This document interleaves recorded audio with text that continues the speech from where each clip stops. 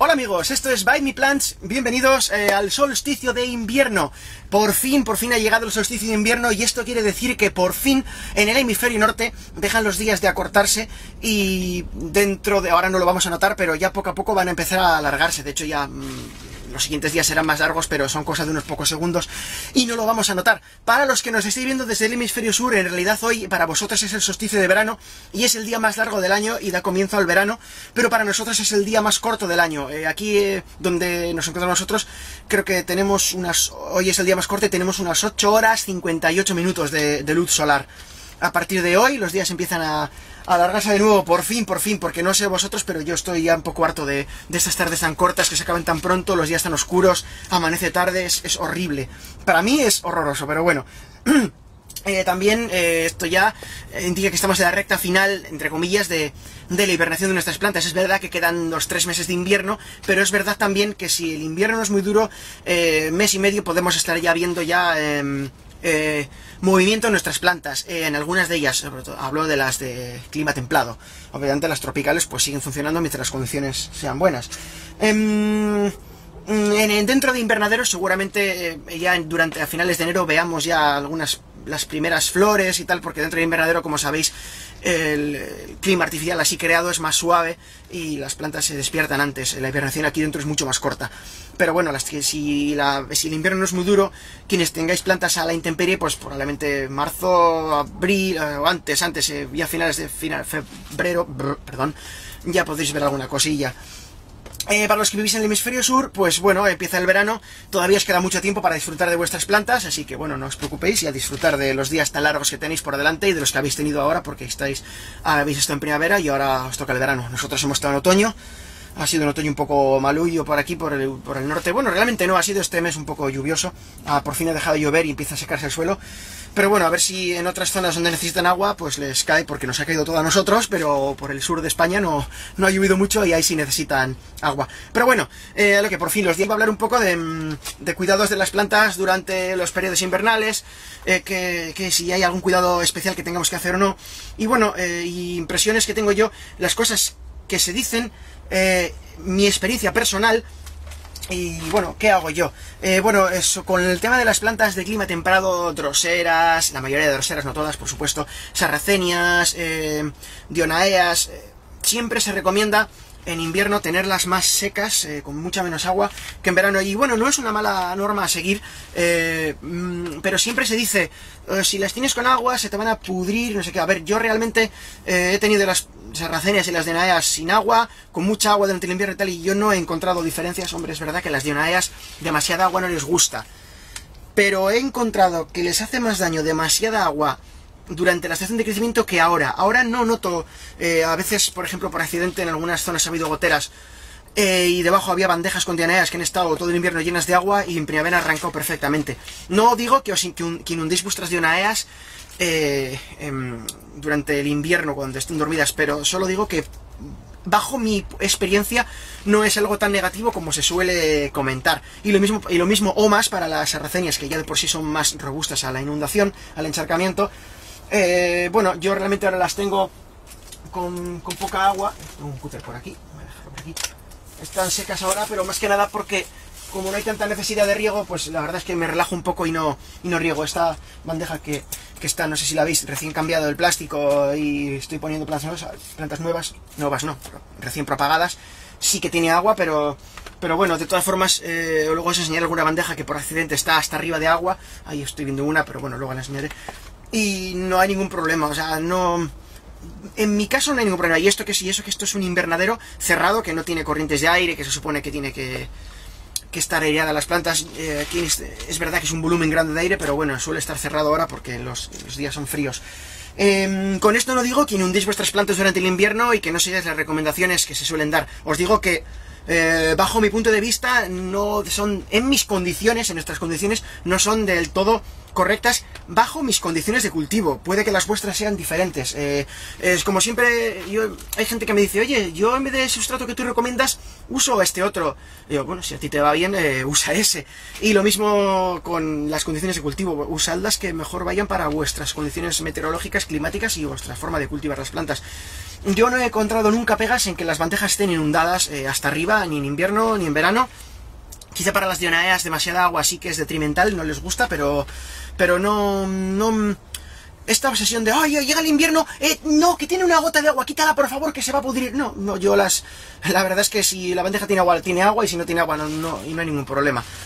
Mm, así que con respecto a las plantas, bueno, eh, las plantas templadas, ahora es una buena época para que las dividáis, para que cortéis las hojas que ya están secas, como veis, estas, no sé si veis aquí, si esta bandeja de las, donde estoy empezando a propagar las eh, flavas, sarracenas flavas, hay más por ahí tiradas por el suelo que no veis, eh, si veis ya están todas las hojas cortadas, em, eh, ya están divididas muchas de ellas, aquí me falta por etiquetar, odio hacer etiquetas, porque tengo que escribirlas a mano, sin embargo, por ejemplo, estas eh, Super que, que, bueno, tienen los ojos bonitos y no las he cortado, las dejaré para más adelante, porque bueno, tener em, mezcla de flava ya sabéis que van a durar más durante el otoño e invierno, y estas conservan la hoja mucho tiempo arrancan un poquito más tarde que las flava, pero aguantan más tiempo.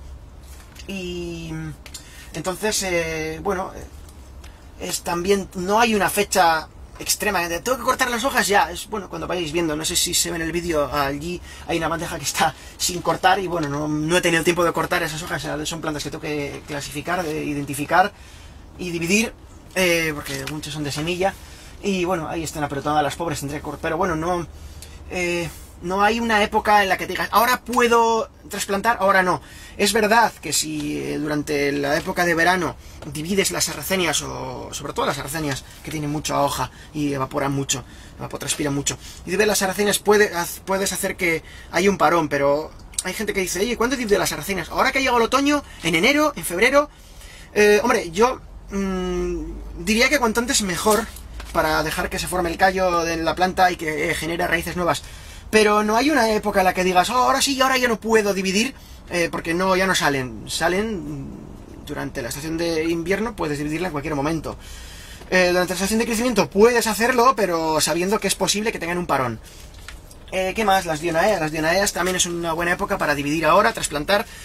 ¿Os acordáis del vídeo del rizoma escondido que os hice? Pues ahora es buen momento para, o bien elevarlas un poco para que no, para elevar el rizoma que no esté tan hundido en el sustrato, o bien incluso para trasplantar, cambiar el sustrato o dividir si queréis. Eh, también es una buena época para si queréis dividir vuestras eh, groseras, eh, por ejemplo estas que son robustas, las, las vinata, pero bueno, esas en realidad las puedes dividir en cualquier momento porque son muy duras, entonces no, no va a haber ningún, no vais a tener ningún problema. Em, para sembrar, pues sí, también es una buena época. Yo prefiero, yo siempre en cuanto cojo las semillas las echo a las macetas, pero bueno, y luego dejo que, que el invierno, los fines de invierno hagan la estratificación. Pero bueno, no mm, podéis hacerlo ahora, podéis poner cuando queréis. Hablo de semillas de sarracenia. Las dionaea las podéis sembrar en cuanto dé la flor, que es en marzo en realidad, eh, perdón, en... La flor suele dar en marzo, abril, pero bueno, suelen salir para verano las semillas en verano. Podéis sembrarlas en verano y os salen al de un mes. Mm, así que bueno, semillas eh, templadas que se necesiten, necesiten estratificación, podéis sembrarlas ahora y esperar a que la primavera broten. Eh, con el tema de plantas más delicadas, eh, pues eh, nepentes, algunas utricularias, algunas, algunas droseras como las burmani, que no les gusta las heladas, las adelaes tampoco quieren heladas, etcétera. bueno, en realidad tampoco las capensis quieren, pero bueno, como estas se recuperan rápido, no pasa nada. En realidad, estas plantas sí que deberíais protegerlas ahora que vienen los días fríos. bueno, ya sabéis, o las metéis dentro de casa, o uséis un pequeño invernadero calefactado, o como buenamente podáis. Esta sí sería recomendable que las protegéis. Y si podéis, eh, eh, por ejemplo, las nepentes, si queréis que sigan dando jarros, sería interesante que las suplementaréis con luz artificial. Eso estaría muy bien, si podéis haceros con un foco de LED, o lo que sea, y las tenéis en interior. Con las 8 o 9 horas que hay de luz ahora, más eh, algunas cuantas más de un foco LED, estaría muy bien para que mantengan los jarros, porque durante esta época en la que las horas de luz pegan un bajón, eh, a las nepentes eh, que esperan tener un ciclo de 12 horas de luz permanente, eh, se les queda corta la energía que reciben y dejan de fabricar jarros y se les estropea los que tienen. Entonces sí que sería interesante que si tenéis la posibilidad y no tenéis muchas nepentes, porque iluminar muchas puede ser caro, pues estaría bien que lo, que lo hicierais, así podéis mantener las nepentes bonitas todo el año, unas temperaturas suaves y, una luz artificial extra puede, hacer maravillas con vuestras nepentes. Y bueno, poco más, la verdad es que la gente a veces se vuelve loca con el tema de la hibernación. Em, ¿O qué hago? ¿Qué, tengo que hacer para que hibernen bien? El otro vídeo comenté, nada, no hagas nada, no uses la nevera a menos que vivas en los trópicos. Y a veces si vives en los trópicos por una zona alta, ni siquiera hace falta. Pero bueno, eh, si vives en los trópicos a nivel del mar, sí, ahí sí, en el Ecuador sí que deberías. Pero, mm, ¿qué tengo que hacer en invierno? ¿Qué cuidados necesitan? Ninguno. Las templadas, perdón. Ninguno especial. Joder, por supuesto, eh, si la tierra se está seca, riégala. No, una cosa es que no consuman agua, otra cosa es que dejes que, que el sustrato se quede, se quede duro como una piedra y mates la planta. Eh, claro, antes he dicho que no tienen agua mis plantas, pero sí es verdad que conservan agua en la maceta. Esto es interesante, ¿eh? No, no o sea que haya, alguien me ha dicho, ah, sí, que, que Kike ha dicho que, que no le echas agua o que les eche toda la que quiera. Así que bueno, yo elijo no echarles agua y, no les echo el invierno. No, no, no, no. Hay que regarlas. La, la, turba no se puede secar. Pero es verdad que ahora que no están en crecimiento activo, las necesidades hídricas son mucho menores y encima las temperaturas son menores, en las horas de luz son menores, es menor el tiempo de fotosíntesis, entonces, eh, y esta es mucho más lenta, entonces el agua consumida es mucho menor. Mucho, mucho menor. Órdenes de magnitud menor que en verano. Pero bueno, no dejéis que se sequen. Eh, podéis ahora es, ahora es buena época para que dividéis vuestras plantas, eh, para que las trasplantéis, para que evitéis el síndrome del rizoma escondido en las dionaeas, que es muy interesante que evitarlo para que sean vigorosas el año que viene, que ya llega pronto. Y, bueno, la verdad es que no, no creo que haya mucho más que añadir. Eh, no uséis la nevera, no uséis la nevera si vivís en clima templado, no es necesario. van a arrancar antes si las tenéis, se las tenéis fuera o en invernadero. Aquí estamos en invernadero ahora mismo. Hoy que pega el sol, no la es que tengo el termómetro por ahí, pero creo que hay unos 20-25 grados aquí. Estoy pasando calor y estoy más corta. ¿no? aquí estoy andando con tirantes, pero no los he traído. Porque aquí hace calor. Y sin embargo, a mí las plantas no, no, no ocurre lo que dice la gente. Oh, es que no han dormido bien, en dormir entre comillas, y no van a despertar. Aquí despiertan perfectamente, a pesar de, de las temperaturas diurnas elevadas. Es verdad que las nocturnas bajan, pero, pero bueno. Y bueno, pues eh, ahora os voy a enseñar alguna otra cosilla, como cuido mis nepentes eh, y alguna otra planta delicada. Y espero, bueno, que podáis eh, utilizar algo, algo para que os aproveche a vosotros. como veis, esta bandeja está bastante llena de agua. Porque tiene, no, lo sé, la verdad es que no sé si hay una gotera o algo, pero la verdad es que siempre la veo llena de agua y, está siempre invierno llena, no, no hay ningún problema con, con que se inunden las plantas, sin embargo, aquí, bueno, ahora esta tiene agua porque he regado hace poco, porque aquí estoy propagando nuevas, bueno, nuevas, son las nuevas plantas, son las, son las serracenias flava, hay más por el suelo que tengo que poner, pero sin embargo, mm, si nos vamos a esta otra bandeja, está totalmente seca, y no hay ningún problema. Eh, no hay ningún problema ni las que tienen agua ni, las que están secas. Es verdad que, como os digo, no dejéis tampoco que, que, se seque la turba, porque, hombre, en este caso sí que podéis matar la planta. Ahora es mucho más difícil que en verano, pero esto no quiere decir que, perdón por el por todo lo que está sucio en el suelo, es que son plásticos de, de construcción, de, montar el otro invernadero.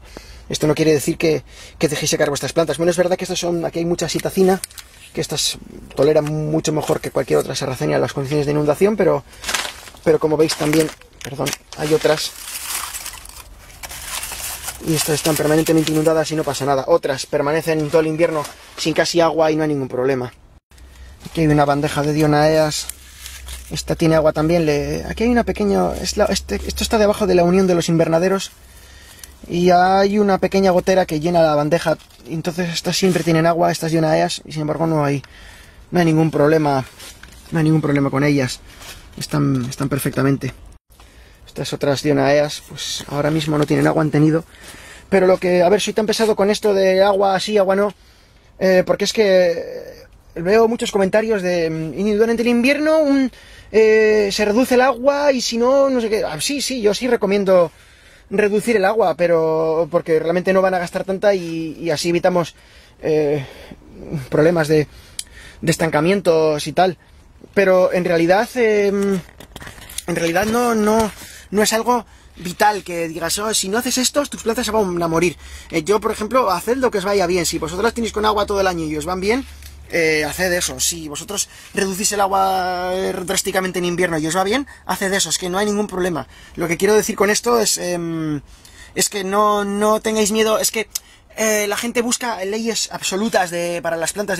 De, y en verano dos dedos de agua, en invierno solo un milímetro. ¿no? en verano yo les doy toda la que quieren y más, porque es verdad que en verano gastan agua a expuertas. Pero en invierno, bueno, realmente si les das demasiada agua, sobre todo a las sarracenias, hablo de sarracenias sobre todo, pero eh, no hay ningún problema. Las dionaeas, bueno, yo intentaría mantenerlas un poco más secas, aunque os comentó antes, como os comentaba antes, he tenido... Ha habido temporadas donde han estado perfectamente muy inundadas y no ha habido ningún problema. Mira, aquí podéis ver una... Una bandeja totalmente inundada. Y como veis, y las plantas están en hibernación ya absoluta y como veis están, están perfectamente. Aquí veis plantas que están cubiertas de agua, casi está arriba, y la planta está perfectamente, hombre, está hibernando, pero está viva. Eh, mismo, fijaos, esta butiana está perfecta, a pesar de estar inundada durante la hibernación perfectamente. ¿Por qué digo esto? Repito, porque hay mucha gente que dice, ay, si durante la hibernación las tienes con agua se mueren. No, no, no se mueren. Sobre todo las sarracenas. Las sarracenas no se van a morir por exceso de agua. Por falta de agua sí, pero por exceso no. O sea que no os preocupéis. Las dianaeas, pues bueno, precaución. Como veis aquí, en la bandeja están ya las plantas que tengo que podarlas. Pero bueno, es que no, no de abasto con todo. Pero como veis, no, esta no tiene agua no tiene agua, pero por supuesto las plantas eh, permanecen con humedad en, la turba, claro. Pero bueno, como veis no hay una regla que digas, tienen que tener un dedo de agua y si no van a explotar. no, no, eh, mientras la turba esté húmeda no, hay ningún problema. ¿Y qué pasa con las más delicadas como las nepentes? Bueno, yo he creado un pequeño espacio dentro del invernadero, un invernadero dentro del invernadero, aquí calefacto con esa pequeña estufa de gas, de gas que veis. Y bueno, aquí me evito tener que andar calentando un gran volumen de aire. Hay también alguna, a ver si puedo... Ah. Me evito andar calentando un gran volumen de aire y por otro lado eh, tengo las plantas más delicadas aquí. De esta forma, eh, así evito que sufran los rigores del invierno. Veis, aquí podéis ver algunas adelaes. Ah, hay algunas andrómedas. Aquí hay droseras capensis yant, algunas que considero un poquito más delicadas, les tengo a salvo de las heladas, bueno, que dentro aquí no hiela, pero el frío extremo. Y con una pequeña calefacción que durante las noches, pues, emite algo de calor, no es que sea una maravilla, pero bueno. Bueno gente, a disfrutar del solsticio de invierno, a disfrutar del invierno, a disfrutar del verano los que vivís en el hemisferio sur y a la playa, al monte donde podéis ir. Nosotros ahora, pues bueno, vienen los días un poquillo malos de tiempo, pero bueno, eh, ya solo quedan tres meses para la primavera en el hemisferio norte, así que bueno, contentos. Y ya sabéis, eh, este vídeo lo he hecho más que nada para, como os he dicho antes, soy un pesado, pero lo repito todo el rato, para que no creáis las normas... Eh, comunes. Si hago esto, la planta vive si no, no. Eh, ya veis que aquí tengo las plantas de miles de formas, sobre todo las más robustas, las arracenias, las dionaeas, las droseras vinata, que estas también te aguantan. Esas eh, no vais a tener problema si tenéis agua, no tenéis agua, etcétera. Hombre, no me seáis bestias si inundís la, la bandeja de las dionaeas de forma que la tapéis, porque entonces las vais a matar. Pero, pero no hace falta que sigáis normas estrictas de en invierno un milímetro de agua o dos y en verano, cuatro dedos siempre, no sé, cuatro dedos o más, pero, pero en invierno, eh, probablemente las dienadas y las arrazanes, perdón, si metéis también agua no hay ningún problema. Que no queréis meterle agua no hay ningún problema tampoco, mientras esté la turba húmeda. ¿Vale? Pues nada, nos vemos en el siguiente vídeo y a disfrutar del invierno y del verano los, de, los del hemisferio sur. A ver, que soy otra vez. El resumen del vídeo. Usad el sentido común. Es verdad que, que en, invierno menor evaporación, menor necesidad de agua. Pero si o se os inunda la bandeja, que hay gente que me dice, eh, se me inunda la bandeja porque llueve. No pasa nada, no pasa nada. En la naturaleza también se encharcan. Sentido común. En invierno es verdad, menos agua. ¿Por qué? Porque necesitan, no están creciendo, están paradas. Eh, los procesos de, evapotranspiración son menores, la fotosíntesis es muy lenta mucha menos agua, pero si se, inunda, si, inunda, os inunda la bandeja por lluvia o porque es por un descuido, no pasa nada, no pasa nada. Así que tranquilos, venga, ayú.